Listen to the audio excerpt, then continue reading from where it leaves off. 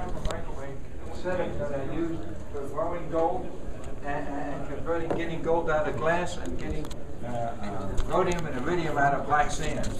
Black sand contains about 10% rhodium and iridium, and most commercial glass, bottle glass, pickle jar glass, contains from uh, 15 to 20 ounces a ton of gold. And you can anything that has quartz in it has gold in it, but it's in monatomic form. So it's in a form that doesn't really. But when you put it in a microwave and cook it, it adds electrons and converts these diamagnetic fields, which were Meissner fields of electrons, back into real electrons, and they become metallic, and we get metal out of it. And I got samples and pictures of this. Metal gold, yeah. Gold. Are we in the wrong business? Why are we here? We should be making gold. Making- well, Have you told the central Actually, banks it's this there. is? It's converting it. Here's some samples. Gold that was made in a microwave. Gold made in and a microwave. rhodium and iridium Everybody that has was microwave. Why- why don't they all make gold? You can see 'em. Instead going to work in the morning. The reason this gold is a little lighter color than regular gold because it has platinum in it. This gold, this little sample of gold is even worse. came out of is beer the bottles. impurity. You take Huh? typical Well, brown the glass platinum beer impurity, bottle I can glass take and- impurity. and melt it in the microwave. I want impurity. John, can you please use the microphone? Yeah, yeah, and so the gold I got here is a little lighter color than regular gold because it has platinum in it. And we got this gold came out of melting beer bottles. Yeah. How many? How much beer do you have to drink?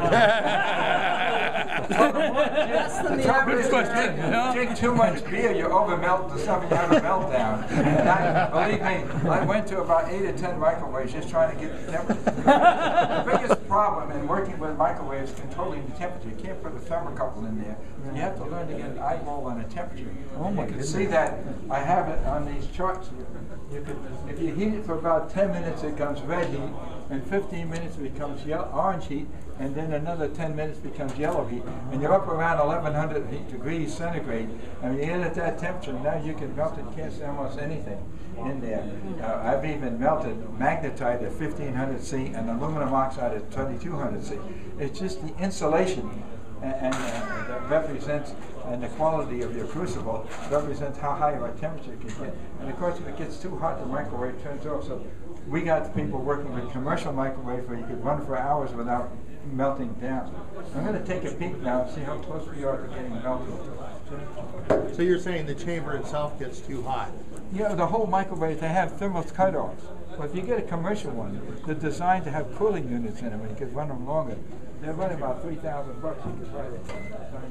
And you said you have Now take a look at ten this of now. You them? can just take a That's quick a peek lot here, money. and you can see that's pretty hot. Yeah. Oh, it's hard to. See? There we So go. that was in there for 15 minutes. Yeah. Now I'm going to put my sample of So This what's has got silver in it, and I'm going to melt this silver in another 10 minutes. It'll be hot enough to cast. What's the white blocks made of? Lightweight insulation. It's a, it's a high aluminum silicate. It's a very lightweight material. Really? And it's a good insulation. It'll take tw- about 1300 C. And it doesn't heat up in there? No, well, microwave goes right through. So is that silver you made or you bought? No, that's regular store bought and silver. Regular Just show you- I can't do the gold process. Can you pick up the mic again, please, John? Look underneath, but it's the same equipment, same process and stuff. Anyone's interested. I will hold your mic. Yeah, anyone, yeah, anyone interested in learning this process, I got a DVD called Growing Gold. It goes about an hour and a half, and it, it gives you, describes all the equipment and procedures needed. And I sold about fifty or hundred of them, and they're about five people now that are making gold using the Oh my mastering process.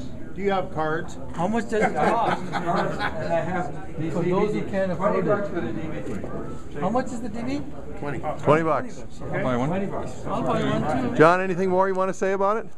About the DVD, yeah. Well, I mean about the process. Process, yeah, well, did you get But no, not yet. You got one? I should never give money first, then they ask you. Did you get one? He put the mic down. Second one. Yeah, anyone want? So is it- also have a It's running right now. We got 15 minutes to go here. uh, 15 more iridium more to go? Into, Oh, half an into, hour. uh, Yeah. into, I mean, getting rhodium, iridium out of black sand. And, and uh, we got a full description of it. Here's the rhodium and there's the iridium.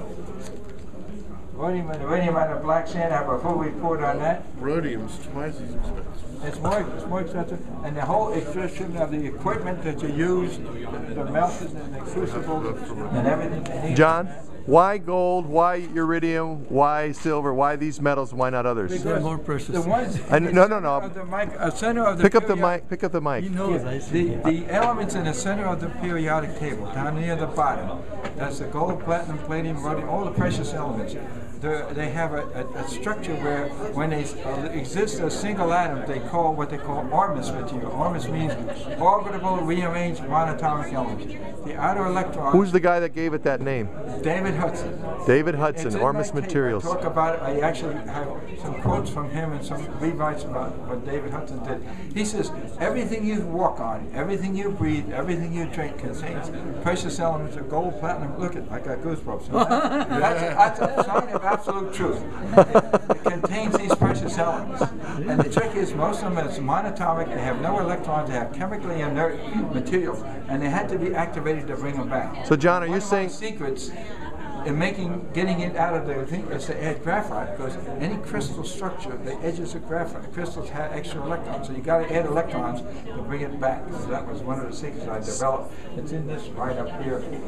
So, what made you think of that? What made you think to do that? Well, Hudson says that they lose electrons, and everybody else has been working with it, trying to develop techniques of adding electrons. I know a guy taking water and making monatomic water by separating it with magnetic fields, then taking that water and running electrons into it, and can get, he gets eight percent gold out of water. So, so John, would it be fair to say that there are more than one kinds of gold? Is that what you're saying? There's Well, there's regular gold and there's it's Ormus gold. There's a whole series of elements gold. that are monatomic. You had to redesign a, a periodic table of materials that don't exist on the physical here, if you want to call it that.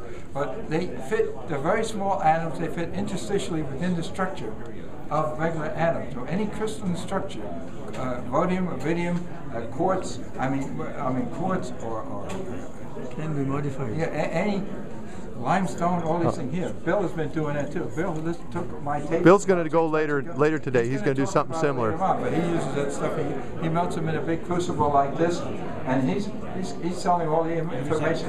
So, so John, what's it going to take for somebody else to, to to duplicate what you're doing here today? Buy the tape and practice and burn out half a dozen microphones. Learn how to control the temperature. Temperature controls the big thing, and, and make sure you keep your gloves on and, and stuff. And stay at least three or four feet away from the microwave. No matter how good they are, they all leak a little bit, and you just go in and out when you're cooking here. A- a- And, uh, practice a lot. Practice, practice. You know what they say? An alchemist, repeat, repeat, repeat. And also another secret: the alchemist is part of the process. That's what's not written down. That's why all these guys couldn't follow their form. They get their notebooks and you have to believe in it. You have to think. You set out the right vibes. Matter likes to be loved. and that's part of it. We, we, we are the creators. We are, we are, God said, look, you kids, get down here and continue. I started these laws of physics and chemistry. Get down there and finish this creation process. And, and, and use your talents, and you can judge on how much you use your talents, and you, you, you do it by being a nice guy. If you do that, you move up to the next level. So, so John, we, we got 12 we got 12 minutes to go. when 12 minutes is up, what are we going to see? Well, I'm going to pour it right now. I think it might be hot. enough. Let me Okay. Take a look. John, what do you usually use as your base material to get gold? Uh, container glass, uh, pickle jars, cheaper uh, taster's choice. Uh, Okay. It's got to be a glass container. So glass is a good source.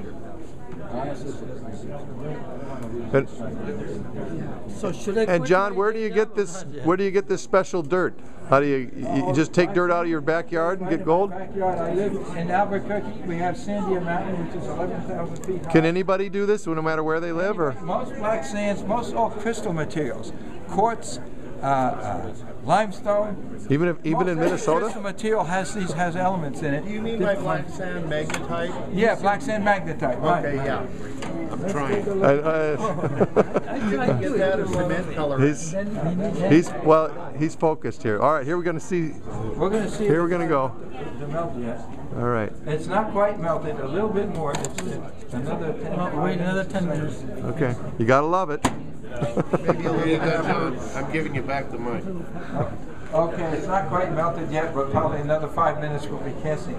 The All right. point I'm making is you can heat things high enough to do this in a, in a commercial microwave, a, a store bought. I started out by going to Target's for 39 bucks. I bought a 600 watt microwave, and I was melting metal in that within a couple of days.